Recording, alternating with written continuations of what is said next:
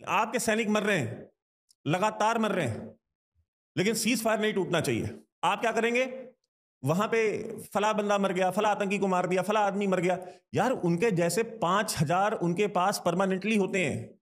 उनकी रिप्लेसमेंट है उनके पास 25 करोड़ की आबादी उस देश की। 25 करोड़ की आबादी में से पाँच करोड़ तो उनके पास फुल टाइम जिहादी हैं। वो जिहाद करने ही आए दुनिया में। उनको शरिया लॉ चाहिए। उनको अपनी पाकिस्तान का इस्लामिक रिपब्लिक भी शरिया के अंडर में चाहिए। उनके पास अलीबान की नाजायज औलादों की कोई कमी नहीं है।